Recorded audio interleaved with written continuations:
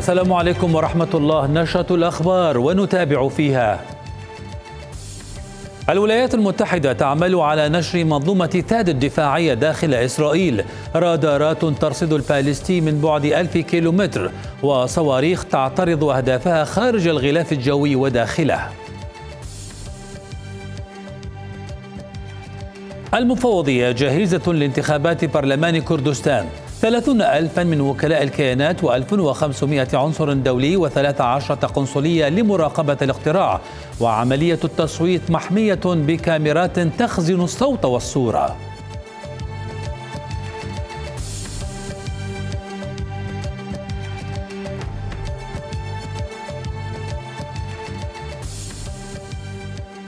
أفادت وزارة صحة غزة بوقوع العشرات بين شهيد وجريح في مجزرة استهدف فيها الاحتلال مقرا لتوزيع المساعدات بمخيم جباليا شمالي القطاع. ونقلت وكالة رويترز عن مسعفين فلسطينية قولهم إن عشرة أشخاص على الأقل استشهدوا وأصيب أكثر من ثلاثين بينهم نساء وأطفال في قصف مدفعي إسرائيلي استهدف المخيم. ومنذ انطلاق العدوان الإسرائيلي على القطاع في السابع من أكتوبر من العام الماضي تعرض المخيم لاستهداف ممنهج حيث ارتكبت إسرائيل مجازر عدة بحق الفلسطينيين العزل. أعلن جيش الاحتلال الإسرائيلي مقتل أربعة جنود في هجوم شنته مسيرة تابعة لحزب الله أمس على قاعدة عسكرية جنوب حيفا وسط تصعيد للصراع في لبنان. بيان لجيش الاحتلال ذكر أن الهجوم أسفر أيضا عن إصابة سبعة آخرين بجروح خطرة فيما أبلغ وزير الدفاع الإسرائيلي نظيره الأمريكي بأن تل أبيب سترد بقوة على حزب الله بعد أن استهدف القاعدة. وفي السياق نقلت وكالة فرانس بريس عن جهاز إسعاف إسرائيلي قوله إن أكثر من ستين شخصا أصيبوا جنوبي حيفا. من جانب آخر أعلن حزب الله استهداف القوات الإسرائيلية بقذائف المدفعية أثناء محاولة تسلل إلى جنوب لبنان فجر اليوم إضافة إلى إطلاق صواريخ نحو تحركات عسكرية أخرى. إلى ذلك ندد مسؤول الشؤون الخارجية في الاتحاد الأوروبي جوزيف بوريل بالهجمات الإسرائيلية على مواقع قوات اليونيفيل التابعة للأمم المتحدة في جنوب لبنان مؤكدا أنها غير مقبولة إطلاقا.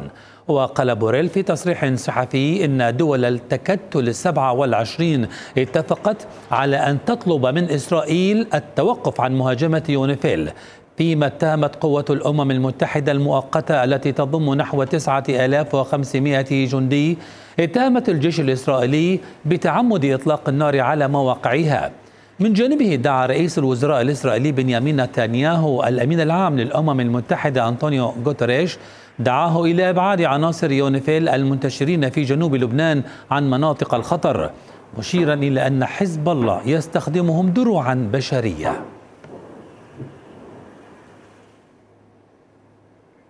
وما زالت جبهة لبنان المشتعلة بؤرة للقتال الدامي حيث يشهد البلد قصفا إسرائيليا مدمرا فيما يواصل حزب الله هجماته المكثفة عند الحدود المشتركة وداخل العمق الإسرائيلي. المزيد في سياق هذا التقرير. هذا ما تبقى من سوق النبطية التاريخي. قصف مكثف طال الجنوب اللبناني ومحى معه معالم أثرية. فهنا غارة إسرائيلية دمرت روح بلدة كفر تبنيت بتدميرها مسجدها القديم ليغدو ركامه شاهدا على وحشية حرب يتهم فيها حزب الله إسرائيل باستخدام أسلحة محرمة دوليا. بينها صواريخ تحمل قنابل عنقودية. رقعة القصف الإسرائيلي اتسعت لتطول مناطق متفرقة من شرق لبنان أيضا. وأسفرت عن دمار واسع للبنى التحتية وضحايا شملت عاملين في فرق الصليب الأحمر. ولم تكن البترون شمالي لبنان بعيدة عن هذا المصير. فالغارات طالت هناك منزلين وسوتهما بالأرض. في المقابل أعلن حزب الله وقوع مواجهة مباشرة مع قوات الاحتلال من المسافة صفر حيث اشتبك مقاتلوه مع متسللين إسرائيليين في بلدة حدودية موقعا إصابات مباشرة في صفوفهم. كما استهدف بالقذائف تجمعا لقوة أخرى في مارون الرأس.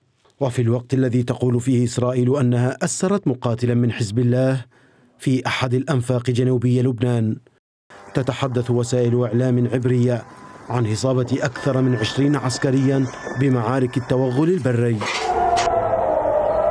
ولم تقتصر عمليات حزب الله داخل الحدود الجغرافية للبنان بل طالت العمق الإسرائيلي عبر إطلاق عشرات الصواريخ بعضها أطلق باتجاه قاعدة عسكرية جنوبي حيفا. وفي خضم اتساع دائرة النار ووقوف قوات اليونيفيل في مرمى القصف المباشر. سارعت أربعون دولة إلى المطالبة بحماية جنودها ضمن القوات وفتح تحقيق بشأن الاستهداف الإسرائيلي لها. وفي وقت يواصل فيه نتنياهو الضغط لإخلاء هذه القوات مواقعها الحدودية وهو ما ترفضه اليونيفيل رفضا قاطعا. على الصعيد السياسي ما زال الفراغ الرئاسي يعصف منذ قرابة عامين بلبنان حيث يتردد في الأروقة السياسية صدى الأصوات المطالبة بانتخاب رئيس جديد كشرط أساس لوقف إطلاق النار. رئيس ذو مصداقية يتعهد مسبقا وبشكل واضح وجلي بتطبيق القرارات الدولية خصوصا القرارات 1559 1680 و1701 تصريحات تعكس في طياتها ابعاد الصراع الداخلي اللبناني وتداخله مع الأجندات الإقليمية والدولية. ويبقى السؤال الذي يثقل كاهل لبنان والمنطقة. هل ستنجح الجهود السياسية في تعديل كفه ميزان الحرب والسلم؟ أم أن إسرائيل بموقفها المتعنت قد اتخذت قرارا لا رجعة فيه؟ ومن شأنه أن يجر المنطقة إلى نزاع شامل يصعب التنبؤ بنهايته. هجوم حزب الله بسرب طائرات مسيرة على جيش الاحتلال الإسرائيلي مساء أمس يشكل نقلة نوعية للحرب في المنطقة وإذ يثبت قدرة الحزب على اختراق المنظومات الجوية لدفاع الاحتلال. يتجهز الكيان لنشر منظومة ثاد الأمريكية الأكثر تطوراً. وكان العشاء الأخير لأربعة جنود من لواء جولاني رأس حربة جيش الاحتلال الإسرائيلي والتشكيل العسكري الوحيد المستمر في عملياته منذ تأسيس الكيان. هجوم مباغث شنه حزب الله بطائرات مسيرة وتغطية من رشقة صاروخية كانت كفيلة بتشتيت القبة الحديدية حتى استقرت مسيرة على طاولة عشاء جنود جولاني في صالة طعام ضمن قاعدة للتدريب بالقرب من بنيامينا جنوبي حيفا. تنظيم بلا رأس. هكذا وصفه الاحتلال لكن حزب الله نجح في شن عملية مركبة ومعقدة استهدفت العمق الإسرائيلي في اختراق غير متوقع للدفاعات الجوية المتطورة وهي معطيات تبرز أن قدرات الحزب التنظيمية والعسكرية أقوى بكثير مما يتصوره الاحتلال. وإذ تكشف هذه الهجمة هشاشة منظومة الدفاع الجوية والقبة الحديدية وضعفها أمام مسيرات حزب الله الانقضاضية. تعلن واشنطن عزمها إرسال منظومة متطورة مضادة للصواريخ إلى إسرائيل مع قوات أمريكية لتشغيلها. ثاد منظومة الدفاع الصاروخي للارتفاعات العالية تشكل جزءا أساسيا من أنظمة الدفاع الجوي المتعدد الطبقة للجيش الأمريكي. وتحتوي على ست منصات إطلاق محمولة على شاحنات مع ثمانية صواريخ اعتراضية على كل منصة ورادار قوي وهي في طريقها إلى قوات الاحتلال رفقة مئة جندي أمريكي لتشغيل بطارياتها هي مساع أمريكية مستمرة لتعزيز الدفاعات الجوية الإسرائيلية لكن التوقيت هنا يشي بالكثير فهذا التطور يأتي في وقت يجهز فيه الاحتلال نفسه للرد على هجوم إيران الصاروخي. رد تعي إسرائيل أنه سيستدعي ردا إيرانيا آخر. وإذ حثت الولايات المتحدة إسرائيل على معايرة ردها لتجنب إشعال حرب أوسع نطاقا في الشرق الأوسط. يأتي هجوم حزب الله وسط توتر إقليمي غير مسبوق ليرسل مؤشرات بأنها حرب شرسة متقلبة وطويلة المدى. إذا ثاد هي أكثر بطاريات الدفاع الجوي تطورا ستصل إلى إسرائيل في إطار ردع الرد الإيراني على هجوم إسرائيلي مرتقب. ما ميزة المنظومة الدفاعية وما أماكن انتشارها؟ نتابع هذا في العرض الآتي.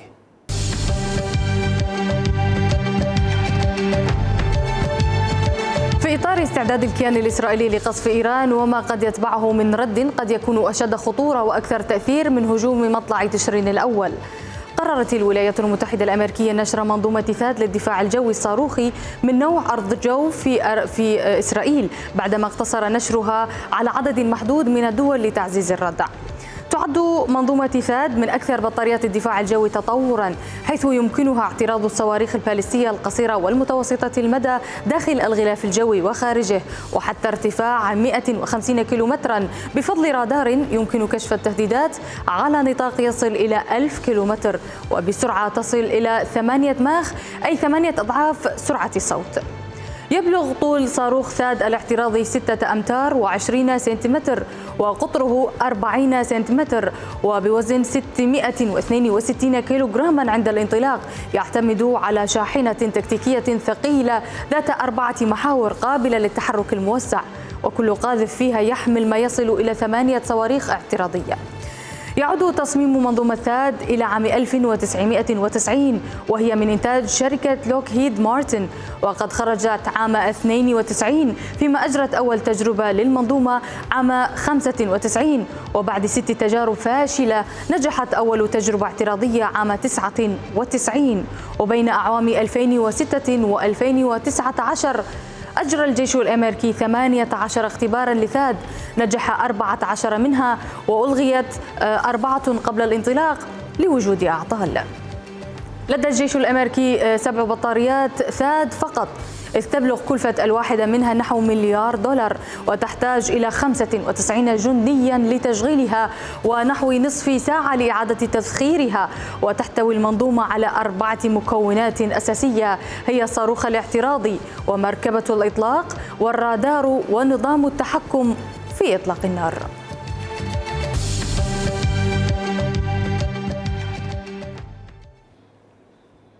محافظ بغداد عبد المطلب العلوي قال إن الاستعدادات قائمة لاستضافة اللبنانيين النازحين إلى العراق جراء الحرب الإسرائيلية على بلادهم مشيرا إلى مشاركة الجهات الأمنية والإدارية المعنية وبقية الدوائر في توفير ما يلزم لهم بهذه المرحلة الراهنة.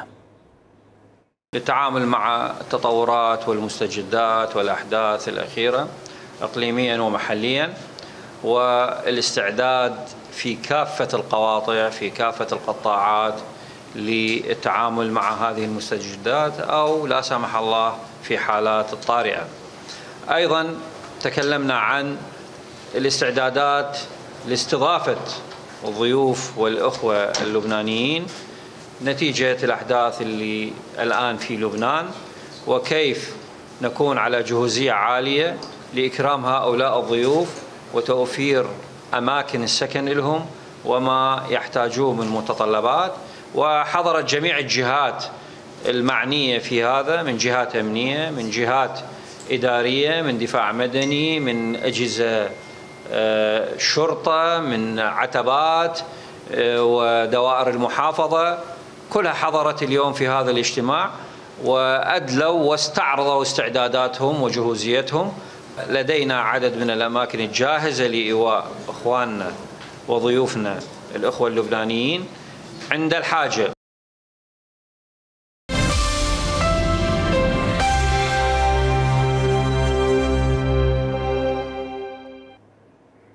في الشؤون العراقية قال المتحدث باسم مفوضية الانتخابات عماد جميل إن المفوضية ستراقب عملية الاقتراع بإقليم كردستان بدقة أكثر من المراقبين المحليين والدوليين من خلال كاميرات تسجل بالصوت والصورة داخل جميع المحطات مضيفا أنه تم تسجيل أكثر من 30 ألف مراقب محلي و1500 مراقب دولي لمتابعة عملية الاقتراع.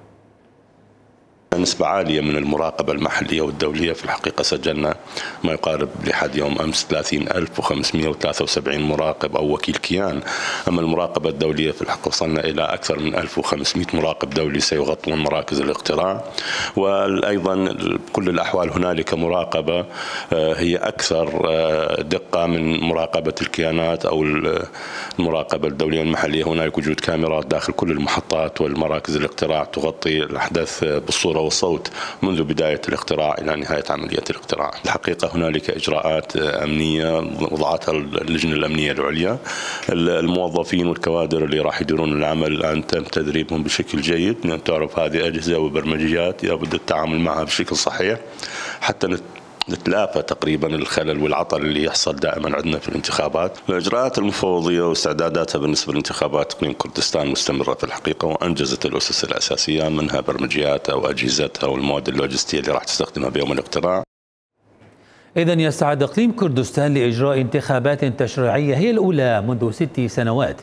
فيما يخوض المرشحون سباقا تتصاعد وتيرته هذه الأيام للفوز بالمقاعد المئة لبرلمان الإقليم بدورته السادسة. نحو الدورة السادسة من الانتخابات التشريعية في إقليم كردستان تسير المنافسة بين المرشحين بوتيرة متصاعدة قبل حلول موعدها المقرر في العشرين من الشهر الحالي.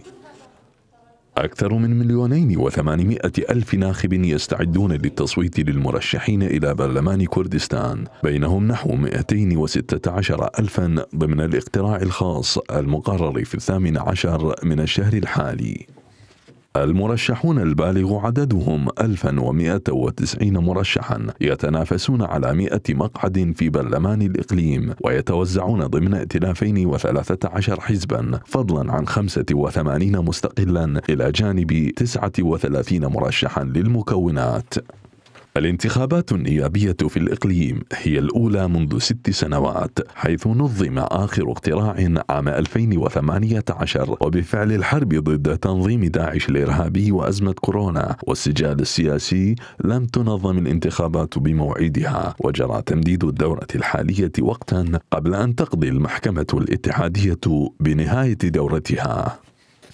وتعود أول تجربة اقتراع نيابية في الإقليم إلى عام 1992 حين أسفرت عن انتخاب برلمان برئاسة جوهر نامق. أما أول انتخابات بعد عام 2003 فأجريت عام 2005 ليعقبها تشكيل برلمان برئاسة عدنان المفتي. إلى جنوب العراق حيث شهدت مدينة الناصرية احتجاجات وقطعا للطرق والساحات العامة والتقاطعات بالإطارات المحترقة وذلك على خلفية اعتقال عدد من الناشطين في حراك الحبوبي التفاصيل ما بعد الاعتقالات في تقرير أحمد السعيدي. حملة اعتقالات طالت ناشطين في الناصرية عادت أجواءها إلى الاحتدام مرة أخرى. قطع للطرق بالإطارات المحترقة وعمليات كر وفر واستخدام للرصاص الحي لتفريق المتظاهرين. سياسة القبضة الحديدية وتفعيل الدعاوى الكيدية على حد وصفهم لن تجدي نفعا ولن تعيد الاستقرار إلى المحافظة. ومن وراءها دوافع سياسية حركت حملة الاعتقالات الأخيرة. هكذا يصف ناشطون ما يحدث في ذي قار. تلك الدعوة الكيدية الذي تقوم بها الدولة بين فترة وأخرى آه، لتحريكها ضد المتظاهرين وهي ورقة آه، تقوم آه، باستخدامها ضد المتظاهرين حيث قام أمس قيادة الشرطة باتخاذ قرارات تعسفية وإطلاق نار حي وكثيف أمام الناس في منطقة الحبوبي. وبعين التأييد والتحذير تنظر أطراف في حكومة ذي قار إلى الأمر لكنها تتحفظ على استخدام الرصاص الحي والقوة المفرطة وتعد ذلك مرفوضا ولا يمكن أن يمر من دون حساب. نحن كأعضاء في مجلس المحافظة ندعم آه، جهود قيادة شرطة ذي قار في تطبيق الأمن وفرض النظام و آه، تنفيذ أوامر إلقاء القبض آه، ضد المطلوبين. لكن في الوقت نفسه آه، نطلب أن تتم هذه الفعاليات وهذه الخطة الأمنية آه، بأساليب تحفظ دماء أبناء المحافظة ونتحفظ كثيرا على استخدام السلاح الحي في هذه العمليات. قيادة شرطة ذي قار أكدت أنها ماضية في فرض القانون دون الالتفات إلى المسميات المتعلقة بالمطلوبين. مثل ما لهم حق بالتظاهر هذا المجتمع هم له حق بالتسوق بالذهاب للطبيب وأنت تعرف أهمية شارع الحبوبي. نعم. وفعلا أكو ناس شعرت إنه هذا الفعل كان مقصود افشالهم واللي هم مظاهرين سلميين انسحبوا وبقوا المخربين اللي يحاولون إثارة الفتنة. القينا القبض على قسم من عندهم وطلعوا قسم من عندهم مطلوبين للقضاء بقضايا آه، حرق دوائر الدولة واعتداء على موظفين حكوميين. وكانت قيادة شرطة ذي قار قد أصدرت أمرا بتوقيف منتسبين أطلقوا النار خلال فض تظاهرة في ساحة الحبوبي احتجاجا على اعتقال ناشطين وصدور مذكرات قبض بحق آخرين. من الناصرية أحمد السعيدي UTV. في مقبرة المصلى وسط كركوك تختلط عظام الحيوانات والأموات سوية داخل القبور. بقايا قطط أو ببغاوات يرميها مشعوذون لمآرب شريرة وللسحر. والعهدة طبعا على الحفارين. التفاصيل من كركوك. لا نعرف عن الدفان سوى حفر القبور نهارا لدفن الموتى لكن ليلا يتحول الدفانون إلى مراقبي القبور خوفا من دس السحر داخل القبور القديمة. كركوك شهدت في الآونة الأخيرة انتشارا لمدعي القيام بأعمال السحر والشعوذة. إذ تختلف في طرقها لكنها تشترك جميعها بهدف إيذاء الآخرين. دائما نلقى سحر بال شو اسمه من نرفع ونلقى سحر مدفون يعني. شغلات كثير السحر أنواع الدفن على لعابة على ورق على فالينوية الورق على قفل يعني مسدود وشادين وياه بسامير هذا السحر الموجود. أي نلقى نلقى اللعبة مشدود عليها بالخيط والتياب ويا أبر حاطين في خمسة ستة لافين وياه. يعني هذا السحر لو نلقى مثلا بيض كاتبين عليه. والسحر اللي نفكه دائما نلقى آية مقلوبة يعني مقلوبة خربطة يعني ما تفتهم عليه. بس الاسم الطرف المرأة والرجال. هم يجون بحيث المقبرة فارغة ما حد بيها. يرتاحون يعرفون شلون يدفنون السحر وين يدفنونه. أوراق مكتوب عليها بلغة غير مفهومة ودمى تثقب بمسامير ويكتب عليها طلاسم غريبة وحيوانات تقتل خنقا وتفرغ أحشاؤها ويوضع داخلها السحر أو يكتب على جلدها. مجموعة قليلة من طرق السحر الذي يدفن في القبور. وبغض النظر عن مدى مصداقية الفعالية لهذه الأعمال فإنها على أقل تقدير تدخل في النصب والاحتيال وانتهاك الحرمات. السحارة موجودين هواية هنا. آه، السحارة من يجون يعني ما يخافون الله. فاحنا الحفارين قبور هنا. آه، فشو نسوي؟ نراقبه. من نراقبه نعرف هذا السحارة جاي. فنروح وراها نطلعه أكو يدفنون بزونه آه، يعني يخنقون البزونه ينظفون داخل بطنه ويترسونه أكو أهم شيء البغبغة. البغبغة. وثالث شيء فد شيء مهم يعني. هذا الصابون اللي يغسلون به ميت. هسه أنا عندي دليل. كله مصورة. شلون أطلعه؟ وشلون أفتحه؟ حتى الأموات لم يسلموا من التخريب والعبث والإساءة فالسحر والمشعوذين يلاحقونهم إلى مثواهم الأخير. من كركوك عمار حامد يو تي في. وهكذا تنتهي النشرة الإخبارية. شكرا لكم وإلى اللقاء.